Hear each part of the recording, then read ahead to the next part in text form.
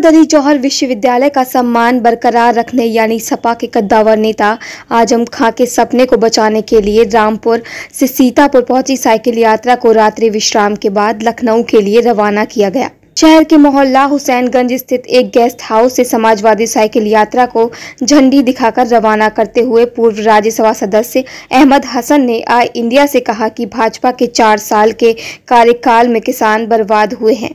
ग्यारह में श्री अखिलेश यादव ने साइकिल यात्रा शुरू की थी और 2012 में समाजवादी सरकार बनी।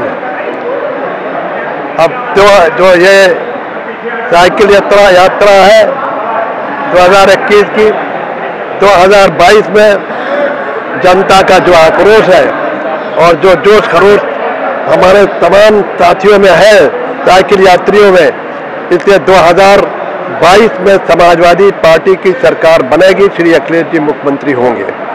आपने देखा कि चार साल का भाजपा का कार्यकाल जो है, इसमें किसान बर्बाद हो गया है, नौजवान बेरोजगार हो गया है, औरतें, महिलाएँ, बहु अमलों की सुरक्षित नहीं है, विकास कार्य ठप है।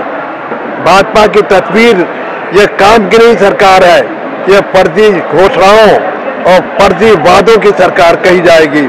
समाजवादी साइकिल यात्रा में शामिल पार्टी कार्यकर्ताओं ने जोरदार नारे लगाकर एक दूसरे का उत्साह बढ़ाया। जिला अध्यक्ष मुरादाबाद जयवीर यादव के साथ नेतृत्व कर रहे विधायक बिलारी फहीम इरफान ने आई इंडिया को बताया कि विश्वविद्यालय को बचाने के लिए ये यात्रा निकाली गई है। ये 12 तारीख से राष्ट्रीय अध्यक्ष अखिलेश यादव साहब ने हरी झंडी दिखाकर और लगभग 14 किलोमीटर साइकिल चलाकर ये एहसास दिलाया कि जो मोहम्मद अली जौहर विश्वविद्यालय को भारतीय जनता पार्टी खत्म करना चाहती है, बंद करना चाहती है, उसको राष्ट्रीय अध्यक्ष जी ने ये कहा है कि ये शैक्षिक संस्थान है। ये बच्चों का फ्यूचर है छात्र छात्राओं का फ्यूचर है। यहाँ पर डॉक्टर, कलेक्टर, इंजीनियर बनते हैं। यहाँ पर ब्यूरोक्रेट्स बनते हैं, पत्रकार बनते हैं। ये कैसी सरकार है जो शैक्षिक संस्थान बंद करना चाहती है, विश्वविद्यालय बंद करना चाहती है? तो इसके विरोध में ये साइकिल यात्रा पूरी तरीके से चल रही है। आपने देखा होगा, ऐसी कोई सरकार नहीं आई कि जिसने जो है बदले की भावना से काम किया। आज़म साहब के ऊपर जो मुकदमे लगे, बकरी चोरी के मुकदमे लगे, भैंस चोरी के मुकदमे लगे, उनके नाम के किरदार को खराब करने की साजिशें की गई। उसके बावजूद हद ये हो गई अब यूनिवर्सिटी तबाह करना चाहते हैं। यात्रा के दौरान पार्टी नेताओं ने भाजपा सरकार पर हमला बोला।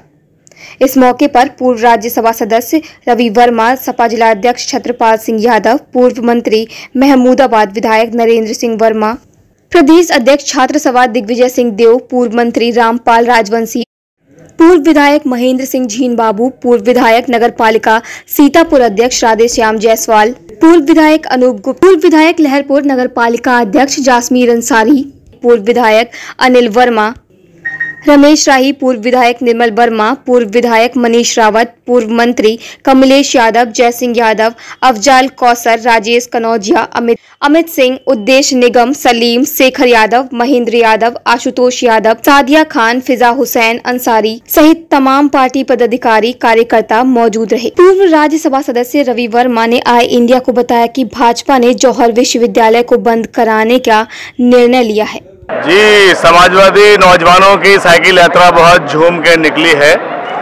और इस हुकूमत ने जौहर विश्वविद्यालय को बर्बाद करने का जो काम किया है, उसके विरोध में ज्ञापन देने के लिए हमारे नौजवान एक बहुत लंबा रास्ता साइकिल तय करके जा रहे हैं और ये ज्ञापन राज्यपाल को दिए जाएँगे।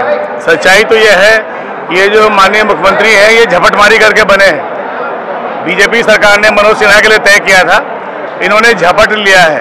और उसके बाद इन्होंने जितनी भी मर्यादाएँ हैं, वो सब तोड़ डाली हैं। नैतिक पतन की सारी सीमाएँ तोड़ डाली हैं। उत्तर प्रदेश को कलंकित कर दिया है कि जहाँ से इंसाफ की बात चली जाती थी, वहाँ से जुल्म और नाइंसाफी के नए नए साजिशें रची जा रही हैं।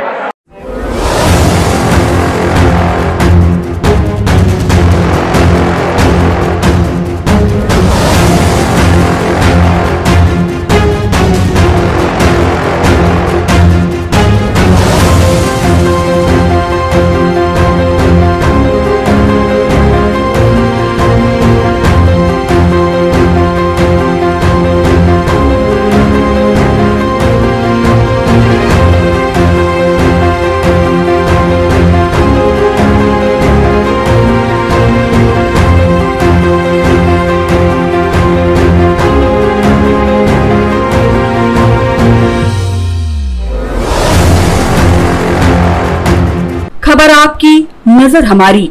देखते रहिए आई इंडिया।